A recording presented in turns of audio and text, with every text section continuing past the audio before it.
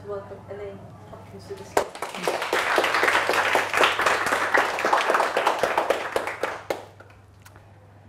This is going to sound like an advert for Speaker Express. But I can assure you, absolutely no money has changed hands. At least, not yet. Tonight I'm going to tell you a story about public speaking. It's a very personal story. It's my story. But before I do that, I just want to test the temperature in the room. So, who loves public speaking? Great. I'll come to you in a moment. Who's terrified of it? And who's somewhere in between? This is you, sir. Good. I used to be in the terrified camp because I suffer from a neurological condition which affects both my balance and my speech. So the thought of being on a stage, even one like this where I can't actually fall off, terrified me. The thought of actually speaking and moving at one and the same time just seemed impossible. My solution is simple. I simply don't do it. I don't do it at school. I don't do it at university. And in 35 years in corporate life, I don't do it either, except on that one occasion. That one occasion when I get caught out in Amsterdam on a management training course. And the tutor says ever so calmly just before lunch, after lunch, you'll all be giving a speech of five minutes duration on a topic of your own choice.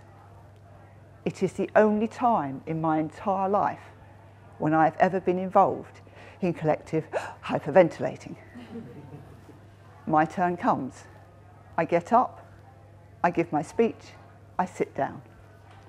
And the tutor says to me, Elaine, do you have any idea where you were when you gave your speech? And I'm thinking, what kind of a bonkers question is that? But I shake my head and she asks one of my colleagues to demonstrate. So this young woman gets up, she walks to the furthest corner of the conference room and she positions at least 90% of her body behind the flip chart. and yes, my colleagues do what you do. They laugh because it's funny for them. But for me, this is a moment when I go, right, that's it, never more. But something happens to change my mind. Some years later, I have a serious cycling accident. So serious that I end up head first, face down, on the side of a drainage ditch. I stop breathing. I almost die. And that made me realise that I'd had enough of carrying around the burden of my fear. So I thought, okay. Mind you, it still took me two years to do anything about it. It's not that I've got a lot of time left on the planet, I haven't. I'm just genius at faffing around. But eventually, I learnt how to do it. And I discovered two astonishing things. One, I enjoy it. And two, I can be good at it. And now we're coming to the real point of the speech. I know, thank God you're thinking. I have a friend, actually surprisingly I have more than one, but this one is called Nick Williams. He wrote a book called The Work You Were Born to Do. Some of you may have read it. And he also has a favourite saying. And his favourite saying is, we are all the answer to someone else's prayer. Now just think about that. And think about it in the context of you and your business. We are all the answer to someone else's prayer.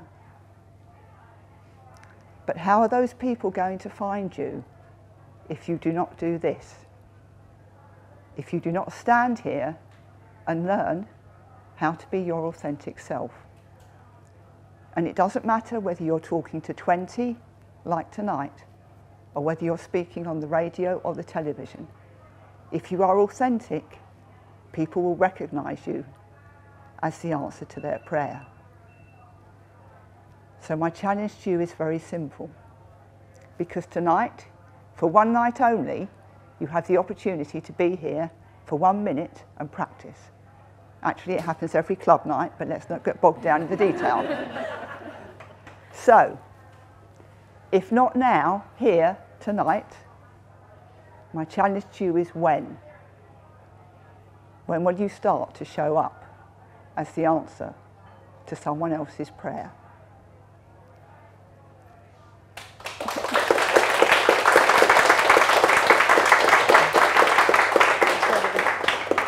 That was incredible. Thank you, Elaine.